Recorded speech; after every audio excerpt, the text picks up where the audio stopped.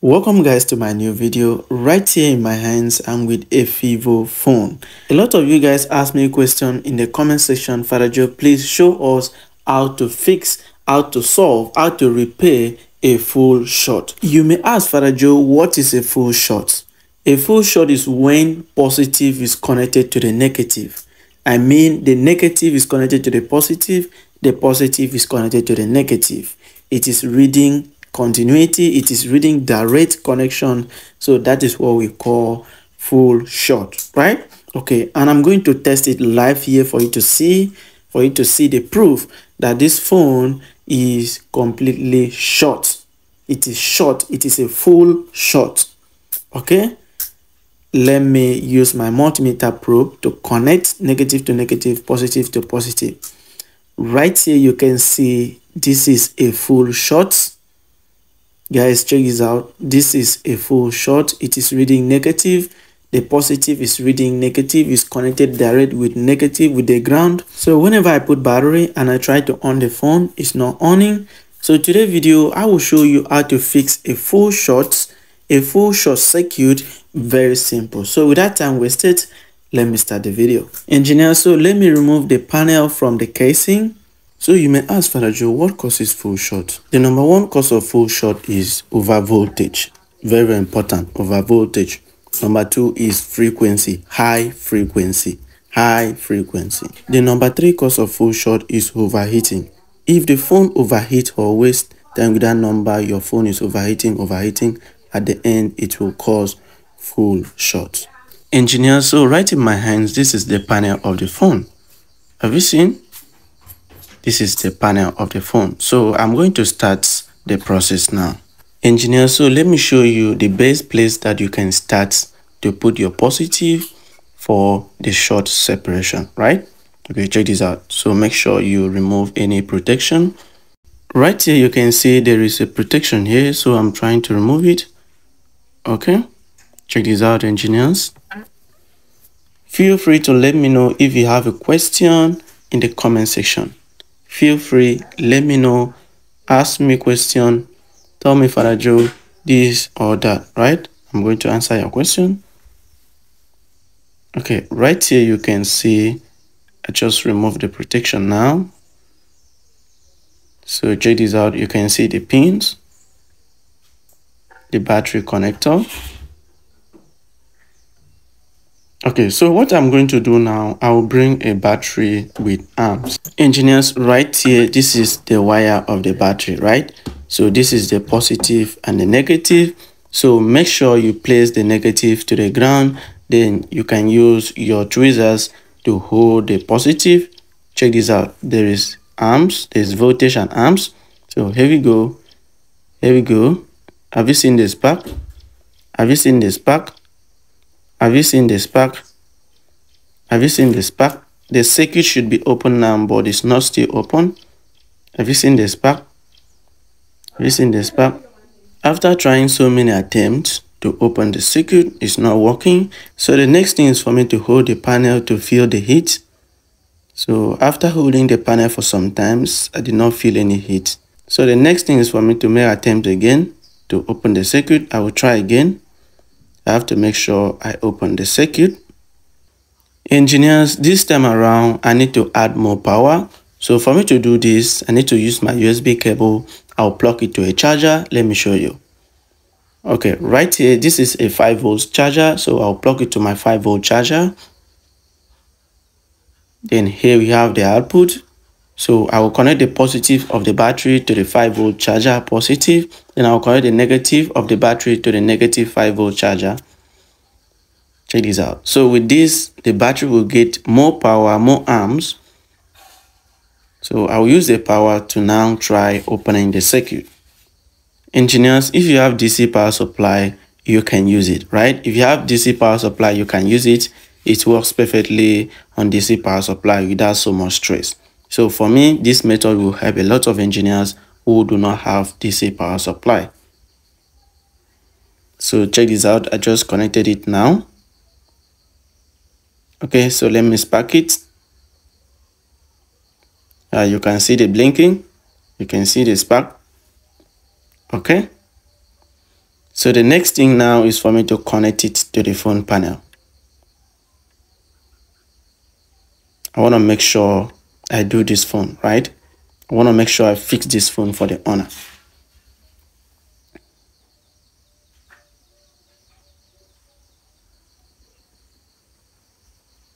Okay, check this out. I place it on the negative, which is the heat sink. Then here we go. Let me do the positive. Here we go. Check this out. Check this out, engineers. You can see, you can see the spark. You can see the heat up. You can see engineer servicing. Check this out. Servicing is burning and I cannot even still detect the capacitor. I can't still even detect the capacitor and the power is so much that it should open the circuit but it's not opening and I can't even detect the capacitor. And I hold the panel to feel heat, there's no heat. Okay, I know what to do. Engineers, I know what to do. Check this out. This is the next thing that you have to do in order to fix this. I need to remove this copper. I need to remove this copper tape. Check this out. I need to take time to do this because I need to detect the capacitor. Engineers, one thing that you have to know when a phone gets short, do not remove any capacitor you see, right? Do not remove any capacitor you see. So let me try again. If not working, then I'll remove the copper have you seen? I've tried again.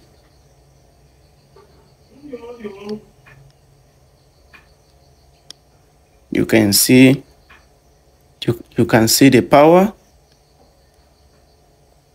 You can see the power, you can see the heat, but it's not still opened. So let me try another method. Check this out. I need to detect the capacitor. The capacitor is really, really strong. The short is a full short. Like I said, the short is a full short, is very strong. So I need to remove the capacitor. I need to detect it.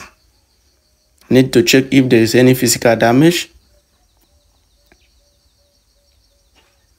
Engineers, feel free to let me know your question if you have.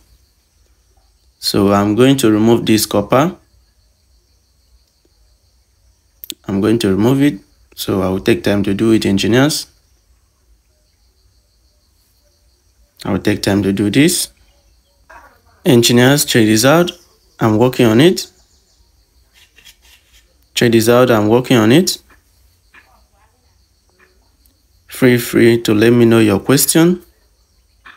Okay, I'm done now. The next thing is for me to clean it. I need to use my chemical to clean it very well. Need to shake the panel to be sure there's nothing fall inside.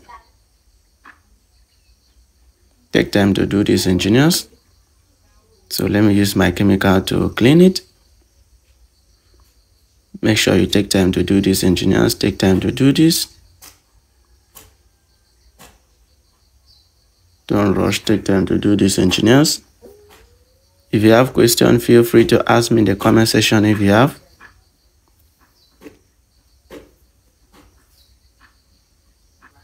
Engineers i'm doing this so that when i connect the battery again to the phone i will notice if there will be smoke inside the heatsink right? From there i'll use it to detect a capacitor or diode that is not working right? So you have to do this first. Do not start opening the heatsink because this heatsink is connected to the phone board.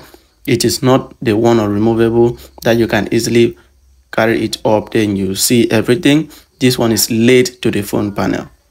Engineers so check this out. Check this out. I'm done. Let me use something to clean it. Let me use a rag okay check this out. Make sure you do all of this right inside there you can see we have a capacitor there is a capacitor inside there and i will put pipes there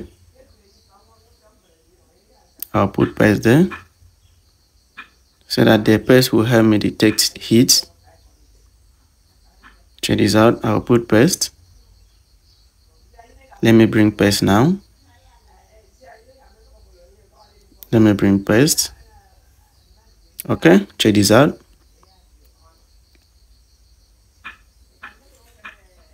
okay. Make sure you put paste take time to do this engineers.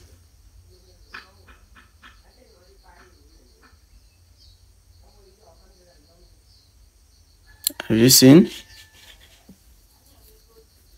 Have you seen? I just put paste on top of the capacitor. I want to detect if the capacitor is the problem okay so now let me connect the battery. Let me connect the battery now. Here we go. Here we go. Let me connect the battery. Engineers feel free to let me know your question in the comment section if you have. Don't forget to, to like share this video to as many audience as possible. Okay check this out. Just connected the negative now. So let me connect the positive one two ready go. This out. Right here you can see the smoke. You can see the smoke. Let me connect again. You can see the smoke. Nothing is happening to the capacitor. Nothing is happening to the capacitor. The paste is not melt. The paste is not melt. Let me connect again uh-huh. Engineers check this out. The paste is melting now. Check this out. There's there's a smoke. Have you seen the smoke? Yes yes. This is to prove that this capacitor is a problem of all this. This is to prove that this capacitor is a problem of all this. Engineers ask me a question in the comment section. I want to see your question. Ask me a question in the comment section. This is the simplest way you can detect them. Very simple. Detect them. Let me put the paste again. Let me put the paste again and do it. Check this out, engineers. Check this out, engineers. Check this out. Here we go. You can see the smoke. Have you seen? Have you seen? Have you seen the light? Have you seen? Engineers, feel free to let me know your question in the comment section. I'm done. The phone is working now. I've been able to detect the capacitor that was shorting the whole thing here in this panel. So I'm going to remove it. I'm going to remove it now. Engineers, try this out. It's very simple. It's very simple to work all this phone. Like I said, this method applies to iPhones, buttons phone. Whenever I drop video, it works for every phone except it is software issue it works for every phone. Hardware issue works for every phones. Right? Okay. I'm done. So let me remove the capacitor now.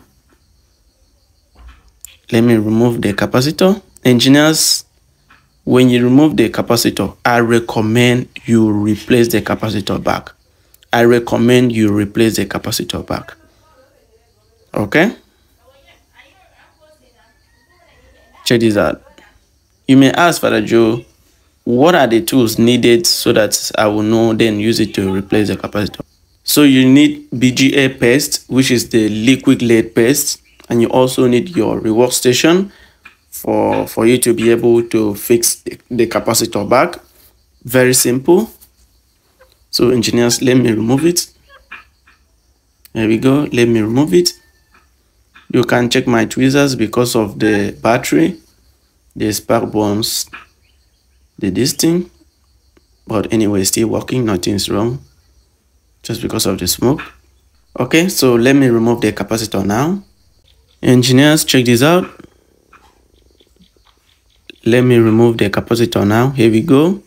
Engineers, you should be very, very careful so that you will not spoil the place. You should be very, very careful there are other components, so you should be very careful not to destroy other components.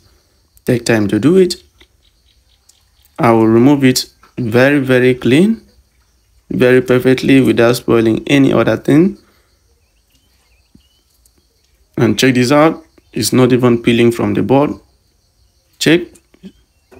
This is the capacitor. The capacitor is not working. Engineers, I'm done with this phone. The circuit is now opened. I have detected the capacitor and remove it right so if you have question let me know in the comment section feel free to like this video share comment share this video to as many audience as possible. If you're watching my video for the first time make sure you subscribe to my channel so that you'll be seeing more of my content. I have a lot of video to post so make sure you subscribe. If you're watching me from facebook follow. If you're watching me from tiktok follow in all of my social media instagram um, twitter everywhere. Please follow so that you'll be seeing all of my content. Thank you so much. I'm done with this video um later i'll replace the capacitor so that i'll hand over the phone to the owner. Thank you guys for watching. See you in my next video. Bye bye for now. I love you all